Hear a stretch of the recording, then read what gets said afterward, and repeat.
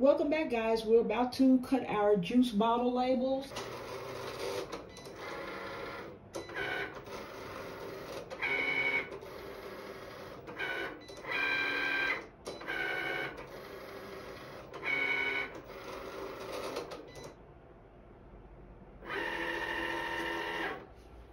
Okay, I have my juice bottle label and a ribbon that I'm going to use for the very top of the bottle. Now I'm going to use my tweezers to remove the backing. And I always use the M um, so it can use, use as my guide for the center. So I just lay it down on its back and make sure and smooth the label out really good.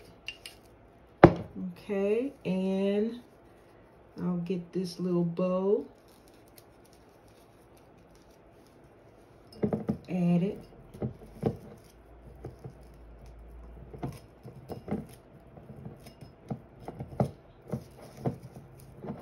Turn it around to the front.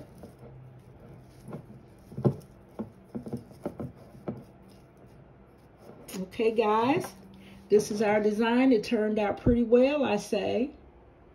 And on the back, I have a little label at the bottom so people will know what type of juice is inside. This one is apple cranberry juice. And I make those labels with my Brother Dymo P-Touch machine. That's my little uh, label maker, and it works well. Okay, guys, that is the end of this video. Like, share, subscribe, comment, and I'll see you on the next video.